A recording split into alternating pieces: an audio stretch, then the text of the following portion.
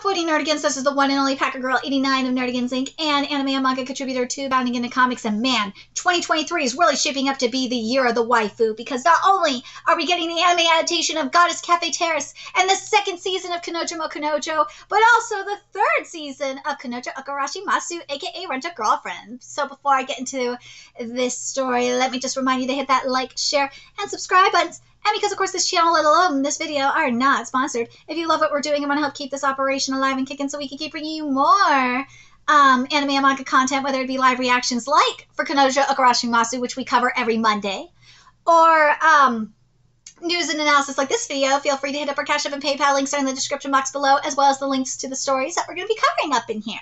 So, woohoo! Okay, so first off, anime onlys, you have no fucking clue because the real queen of this series is coming, and that is Mini Yaemori.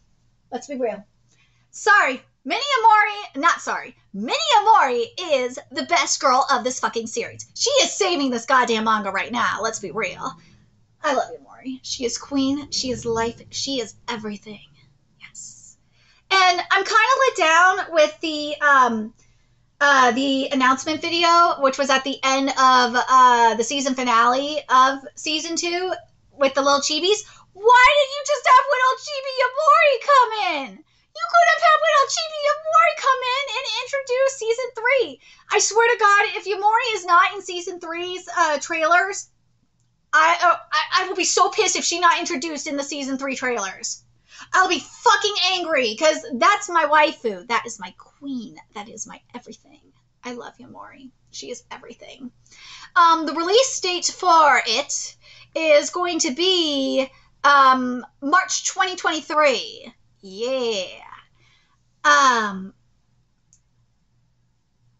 they're saying that um, according according to the info I have from Anime Geek, they are saying that this season was um, a strong adaptation of um, of Kanojo Okarishimasu, um, which is I'm glad to hear it because this upcoming season is going to be the adaptation of probably the most powerful arc and my favorite arc of the manga, which is um, which is the movie arc.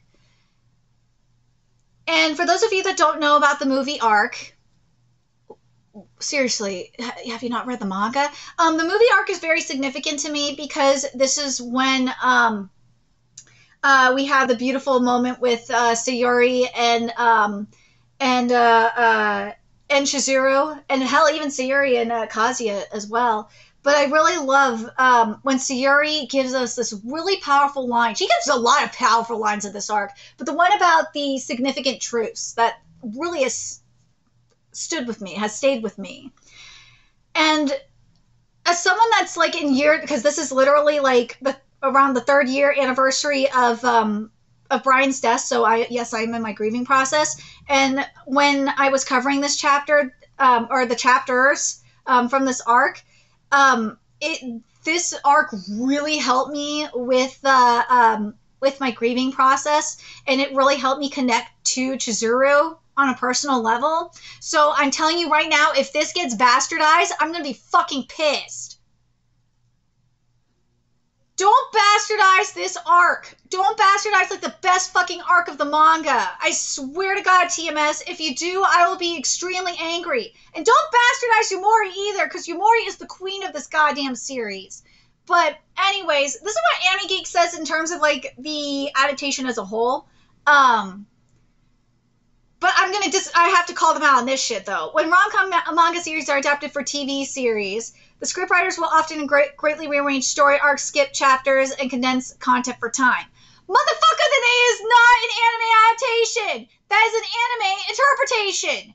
When you do this shit, when you rearrange stories, story arcs, skip chapters, and co- condense content for time, that is an interpretation. You can't do that shit. Like, come on. I'm gonna be fair with this. When you're condensing content like the like this, fine. When you're skipping content, fine. But and skipping chapter when you're rearranging story arcs, it says greatly rearrange story arcs. That's not an adaptation anymore. That's an interpretation. That's not. Uh, why bother?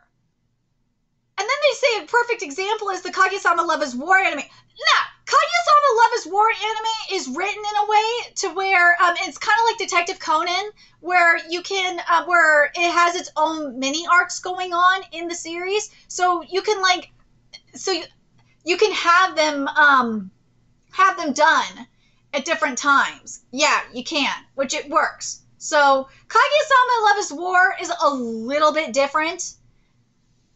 It is because of how episodic it is. Ha! The arcs are very episodic. And Aka, I think Aka was smart, and I think she did that on purpose.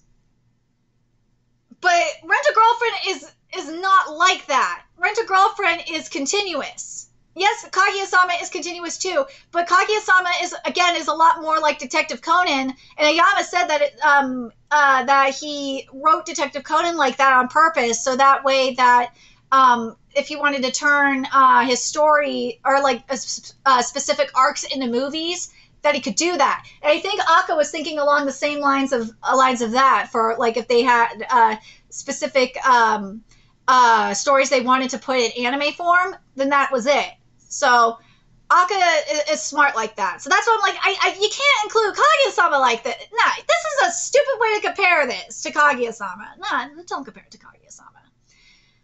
By contrast, the Rent a Girlfriend anime is a more straightforward adaptation of the manga series, largely due to necessity. There is a definite story progression between most of the chapters, so making any changes has major ramifications due to all the connecting plot points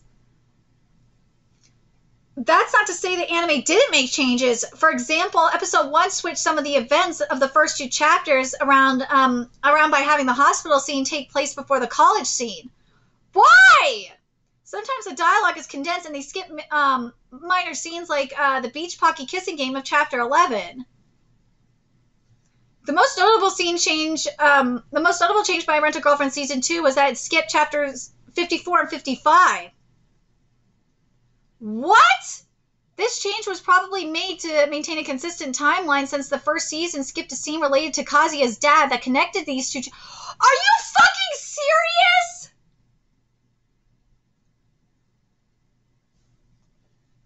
Really? Hold up.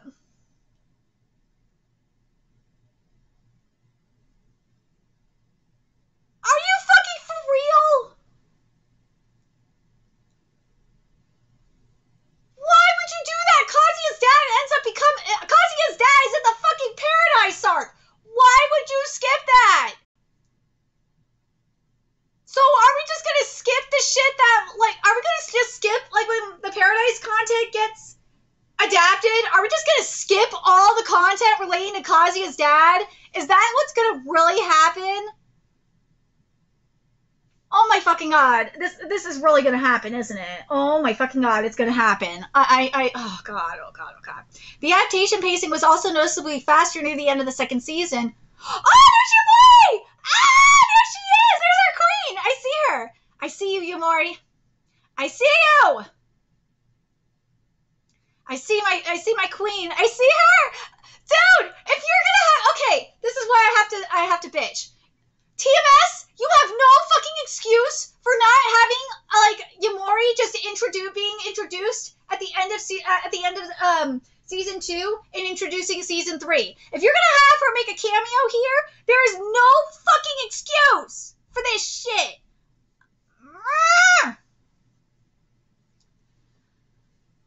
Okay, now let's get to this. The adaptation um, pacing was also noticeably faster near the end of the second season, which meant that certain scenes were skipped. For example, there was a major Sumi fan service scene that was skipped by season two, episode eleven. In the um, in the manga, when they go fishing, uh, um, finger gets hurt, and Sumi starts sucking the wound. They skipped that for real. Okay, so this is the chapters oh they give a guide too. Okay so this is what we're what was um adapted in uh for for the anime. Anime geek thank you for doing that. I appreciate it. This makes my life a lot easier because then i can now tell tell you guys where to go. So this is so they gave us an idea of the pacing. So for episode holy shit they went that fast All right, so for episode one, they adapted the first two chapters. For episode two, they adapted chapters two through five. What? What? For episode uh, three, they adapted chapters six through ten. Oh God, I'm scared. I am scared for this arc, fam. They're gonna bastardize the movie arc. I know they are. For episodes, uh, for episode four, chapters um, eleven through fourteen. For episode five, chapters fourteen through eighteen. For episode six, chapters nineteen through twenty-two. For episode seven, um, chapters twenty-three through twenty. Whoa, twenty-eight. Episode eight, uh, chapters twenty-eight through thirty-one and then dude it went from like two to three to four and to five holy shit 20 through 31 through for episode 8 Chap- uh, episode 9 was chapters 32 through 37 episode 10 was chapters 37 through 41 episode 11 is chapters 20 um 41 through 45 and 50 whoa what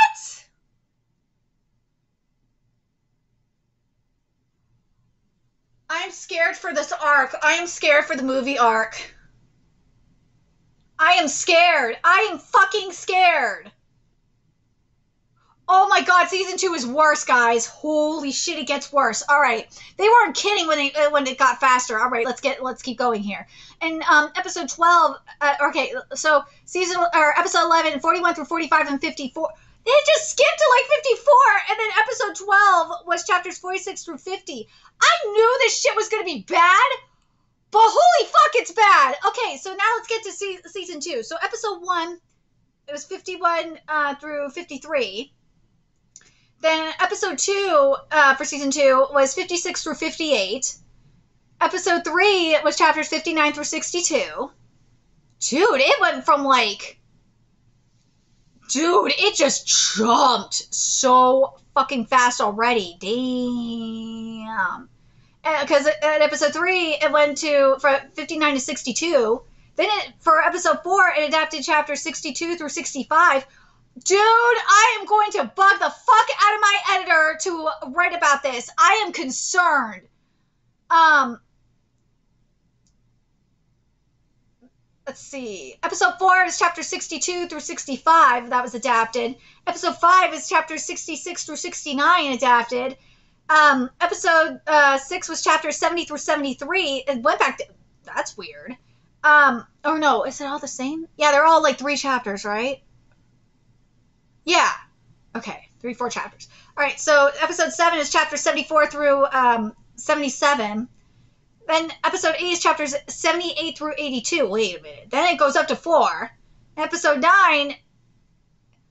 Oh, I. Wait. It said it skipped. Yeah, it skipped. It did skip chapters 54 55. Yeah. Because, um, chapter 54, they only. They literally only da- adapted a little bit from, um, episode 11 of the first season. Oh my god, they literally did skip chapter 54 55. They weren't kidding. Um, oh god. Uh, episode 8 of season 2 was 78 through 82. Um, now here's where it's getting faster. 89 um episode 9 was chapters 83 through 87. Episode 10 was uh, adapted eight, episode, chapters 88 through 92. Holy shit. Then uh, chapters 93 through 99 uh, was for episode 11. And then episode 12, the final episode adapted um, chapters 99 through 104 and all in all, second the second season finale, uh, season's finale of Kanojo Okarishimasu, season two, episode twelve, found a stopping point corresponding to manga volume thirteen, chapter one hundred and four. It's the best stopping point since it ends in a dramatic fashion with Kazuya convincing Chizuru to take a leap of faith and pursue her dream of making a, a crowdfunded movie so her grandma can watch watch it on the big screen before she passes away. The finale scene with Chizuru in the bath also indicates that she's starting to feel something for Kazuya to end uh, the second season earlier in the middle of uh, Chizuru's flashback wouldn't have made uh, sense, and it's just too sad to end with Chizuru's failure at the Lovedoki audition. And ending with Sumi's practice date was also a bad stopping since it, it ends with Kazuya and Sumi literally crying together over the whole situation. Um, the good news is that the manga currently offers m- more than enough source material. But dude, the pacing though is so bad. Um, uh, source material for Rent a Girlfriend season three to be made. That's if they don't bastardize it and just like skip over a bunch of shit. Norm, same with uh um or just like or re um or what's the word or uh rework it like this is the same like what the fuck but i will agree with them to this situation like sometimes where it when we're talking about like um redoing scenes reworking scenes to where it works to like end a season i will agree with that. It does work this worked fine but but having it end with the failure of the love doki audition why not end it make it end like a shitty note like this? Or end like um with uh Chizuru finding out her grandma is dying.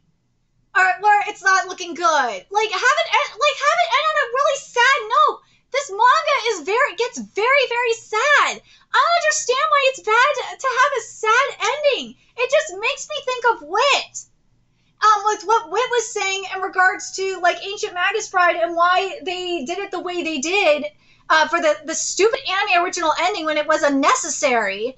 Um, because they wanted to tell a complete story, but in the process they cut all this lore. They literally cut all the fucking lore, the magical lore, cut Joseph's backstory and all this shit because they wanted to tell their own story with a fucking non-canon ending, which really fucks up season two of Ancient Magus Bride, by the way. Because none of that shit is in there. It's like Ao No Exorcist all over again for that, but that's a whole different video. But still, like, why would, but, but why not second season earlier in the middle of Chizuru's flashback? Or, or, or, um, or not the flashback, excuse me. Now, why not end it, end it with Chizuru's failure at the Love Doki audition? Why not end it with Sumi's, uh, practice date? Why not? Or why not? I would I would rather have an end at like the end of uh, the Love Doki um, audition failure than than and have like all the content adapted than this shit. Like this is ridiculous. Cause you get some higher stakes this way. Like this shit from what if this feels like this is more of something for like season three and then like going into the movie and, uh, and all this other stuff would be going into season four. Like, I really am not happy with how this is being handled. TMS, what the fuck are you doing? Better yet, English only manga readers wishing to read ahead of the series can jump straight to English Volume 13 when the first season ended. Uh, manga readers had to wait until summer 2021 for the English uh, Volume 7 to release. Uh huh. Let's see. Oh, let's see what the English. Uh, uh, let's see what the Rent a Girlfriend uh, season three anime TV spoilers plot. Uh, uh, what it says here. Let's see what it says here. The last time audiences watched the Rent a Girlfriend anime, Sumi helped Kazuya work through his feelings as Chizuru was doubting her own resolve. Ruka had uh, has kissed Kazuya, yet um, declared a ceasefire in respect for Chizuru's grandma Sayuri facing death. Yep, Sumi's surprise birthday um, uh, practice date took um, took things to the next level with her growth and repaying the favor for being a wall for him. Uh, never mind the apparent confession. Chizuru doesn't want to know, uh, doesn't want to show her uh, true feelings uh, to Kazuya, but she wants to tell her grandma she uh, became an actress before she passes. So it really hits hard when she failed at the Love Doki audition. But now the movie crowdfunding idea has lit a spark of hope in uh, Ch- in Chizuru's heart. Although it's a new source um, of hope for both of them, the uh, clock is still ticking. Um, will they be able to get the money and uh, make a, a, film in time before Grandma Sayuri dies? A new relationship unfolds be- between the pair as they go from rental girlfriend and customer to actress and producer. While Chizuru and Kazuya do everything um, they can to garner support, a wench is thrown into the works by a nosy neighbor, Mini Yaemori, the queen, the true queen of this manga. Yeah. Oh my god, I love I love you, Mori. Mini uh, first meets the uh, main characters at um at the apartment when she uh, overhears Chizuru calling Kazuya the producer. Observing how they act together, Mini jokingly asks why Chizuru and Kazuya aren't um, in a dating relationship already, when which instantly makes things awkward. I love her so fucking much. um, it turns out Minnie also goes to the same college as Kazuya, and he tries to clear up any misunderstanding she might have of him. But um, with her short attention uh, attention span, she already uh, goes off uh, on a tangent. She also has the annoying Gen Z habit. No, no, no, no! Yaemori is not Gen. Nah, nah! Don't put her in that fucking Gen Z box. Nah, nah, nah, nah, nah, nah, nah! I refuse to allow this motherfucker to put Yaemori in a Gen Z box. She also has the annoying Gen Z habit of taking inappropriately timed selfies. Motherfucker, millennials do this too! Don't associate her with the Zoomers! Nah! Whoever wrote this article, you being fucking stupid! Yaemori, this is not just a Gen Z thing! Millennials do it too! Stop the bullshit! Stop it! Um, when Minio accidentally overhears the conversation between Ruka and Chizuru, she realizes the the girls are rental girlfriends and immediately deems uh, Kazuya a playboy. Kidnapping Kazuya, Mini forces him into her room and he confesses the whole sordid story to her. Uh, deeply moved by Kazuya's story, Mini deems uh, Kazuya her master and promises to become his Cupid and by helping Kazuya make Chizuru his real girlfriend. Um, uh, both Ruka and Chizuru are annoyed when Mini declared herself to uh, be Kazuya's self-proclaimed servant, especially when work and love uh, begin to overlap.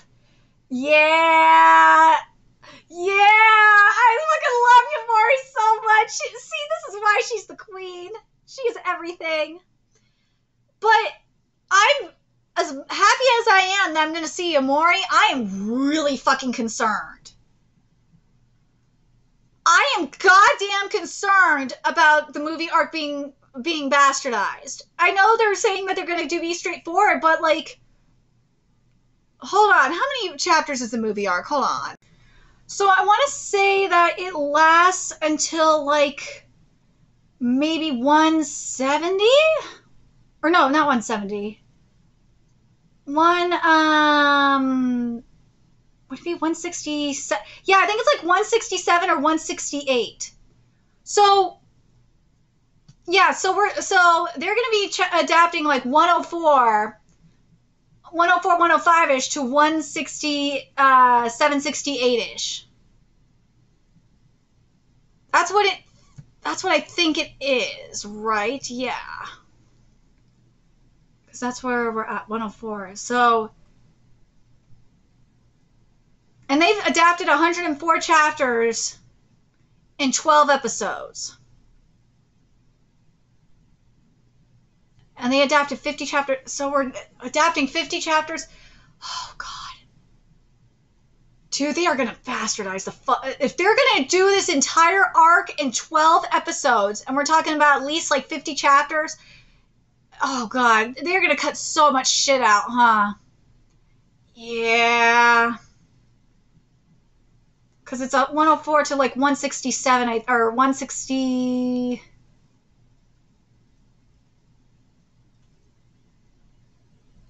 yeah it'd be like 167 maybe 168 they would adapt to.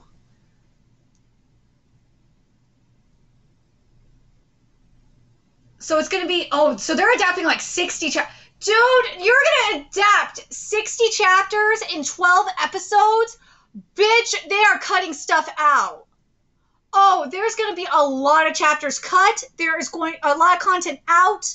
There's going to be so much content cut out, and there's going to be like four or five chapters adapted near the end. They're going to butcher the. They are going to butcher the end of this fucking arc. I know they're going to. If we're going by, if we're going to go by the pattern that is being shown here, where the, they are going to fucking bastardize like the best part of this arc. I'm scared for this season. I'm really fucking scared. TMS, I am begging you, please do not bastardize this arc. Especially the end of this fucking arc.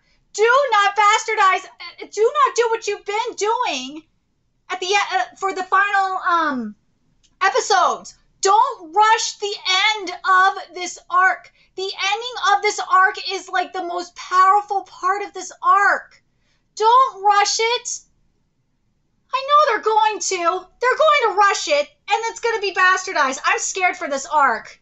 Please don't ruin this arc. Please don't ruin the best arc. Please, I am begging you. I am begging you. Please don't ruin the best arc. Please. Please.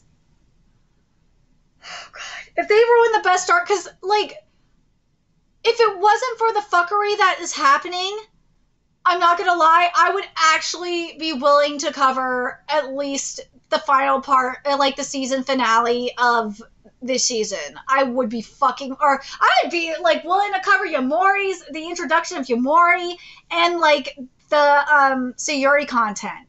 I'd be willing to cover it, but I'm there's no way I am touching this right now. Based on what I what I just covered here, no way I'm fucking touching this. Oh my god, please don't bastardize the best arc. Please don't bastardize the best arc. Please. Please, TMS, don't bastardize the best arc. Oh my god, please. Let me know your thoughts in the comment section below. And remember to like, comment, share, and subscribe to Nerdigans Inc. Love what we're doing. I want to help keep this operation alive and kicking so we can keep bringing you more uh, Kanojo Masu content. A few ways you could do that. Donate to our Cash App, PayPal, Patreon, purchase something off our Amazon wishlist. All that's in the description box below. Also, make sure you follow us on Twitter, Twitch, Discord, friend us on PlayStation Network. That's in the description box below as well. Till next time, Nerdigans, I will be seeing you later. Bye.